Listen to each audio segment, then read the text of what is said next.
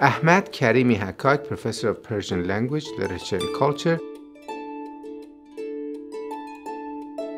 I began my education in Persian poetry on my father's knees. I was really, must have been a toddler, maybe five or six, when he began reading and reciting and chanting Persian poetry in my ears. And it all sank in the way a sponge sinks in water. I was fascinated, totally knew exactly what I was going to do by the time I was 10.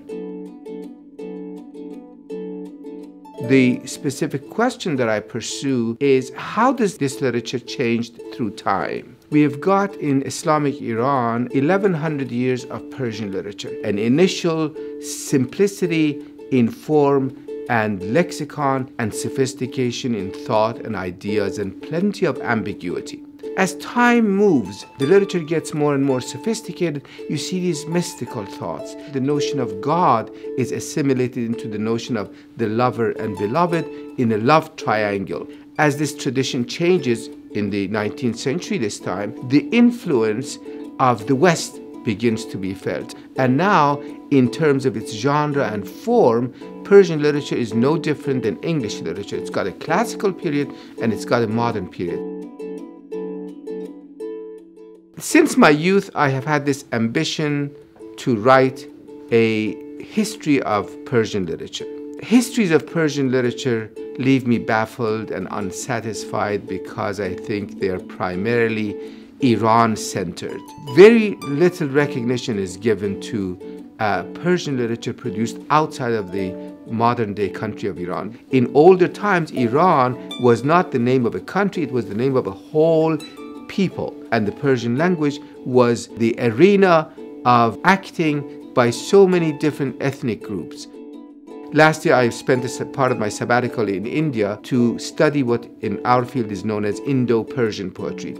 This is poetry that was produced by Indians in India, writing in the Persian language. And I feel this is particularly relevant to our time because right now, the government of the Islamic Republic of Iran is trying to link up poetry with religion too much. And I want to say that it's possible to be an atheist, a Muslim, an agnostic, a Hindu, a Buddhist, and write a literature that connects all of humanity.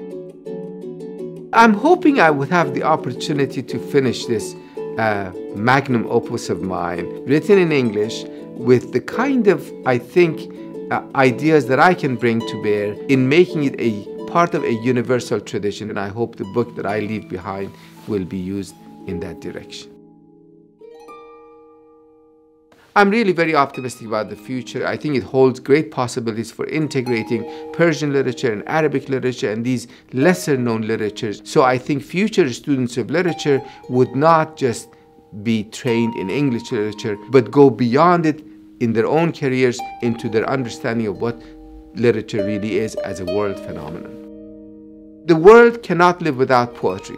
The world cannot live without literary creativity. Let's remember that we change people's minds or mood, we celebrate, we mourn through poetry, and that act is going to continue as long as time exists.